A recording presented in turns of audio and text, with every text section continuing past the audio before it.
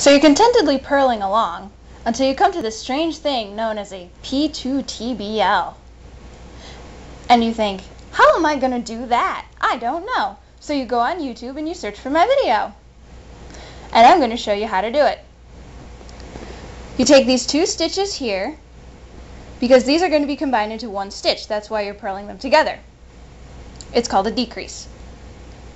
And you'll want to go in through the back like this,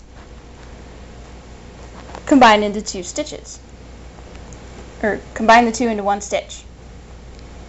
You wrap the yarn around, pull it through, and drop the two stitches off. And the reason that you will decrease like this is so that on the front side, you have a decrease that slants to the left instead of to the right.